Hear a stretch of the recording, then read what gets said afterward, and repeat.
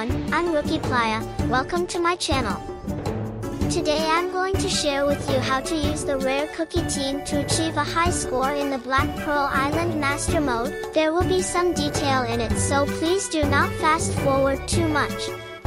I'm using my free-to-play account just to be fair. Just like what you see from here, this account only has 13 of level 70 cookies and other cookies are low level. So please don't worry if you don't have good cookies, just using rare cookie is already enough. Now let's talk about Black Pearl Island first. First thing is all cookies and skill are been set as level 60. That means even if you didn't level up your cookie this event will still bring them to level 60. And also in this event, toppings, guild buff, laboratory, and bonds do not count.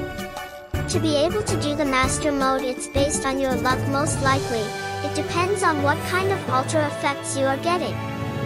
You can still be hitting a 140,000 score with just doing the normal mode, if there is no luck with the ultra effects. Just letting you know that I did total of 9 rounds of the Black Pearl Island just for this video. So we can see that I have no good luck with the ultra effects.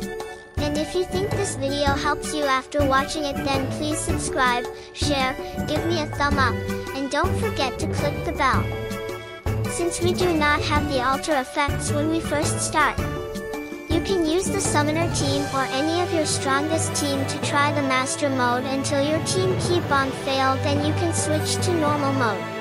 Battle Island and minigame are the main sources of experience and Black Pearl coin, so make sure to do your best to encounter them as much as you can. Usually I go S-shape if it's possible. And if you see the Ultra Effects tower then make sure you encounter it and get the buff cause you will need it for Master Mode. But please remember always save at least 4500 for fixing your ship. Since I forgot to record all the bugs that I got from the Ultra Effects at the end so if it's possible do not skip the video too much. Otherwise you might miss out on some detail.